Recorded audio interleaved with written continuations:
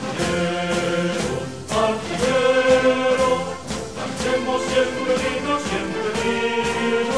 La Academia de Artillería de Segovia ha celebrado este jueves el tradicional acto de homenaje a los capitanes Daoiz y Velarde, que en 1808 se sumaron al levantamiento del 2 de mayo contra las tropas francesas.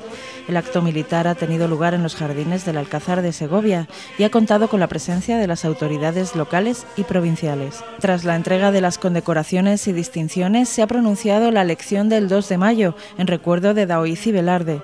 El acto ha finalizado con el tradicional himno de los artilleros y el desfile por las calles de Segovia.